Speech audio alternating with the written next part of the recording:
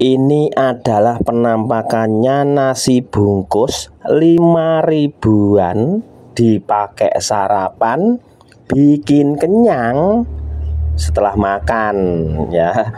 Jadi ini adalah nasi bungkus 5 ribuan harganya yang dipakai sarapan makan pagi-pagi kemudian berangkat kerja ataupun mau ngapain aktivitasnya sangat sederhana ya. Ini ada sambal ada ayam secuil, ada telur secuil, ada tempe orek, ada mie, dan nasinya sekepal. Kalau di Jawa ini namanya nasi bantingan. Kalau di Bali namanya nasi uh, jinggo. Tapi kalau pagi hari ya namanya nasi bungkus. nasi jinggo itu biasanya sore teman-teman ya. Ini informasinya ya. Nasi 5 ribuan dipakai sarapan bikin kenyang.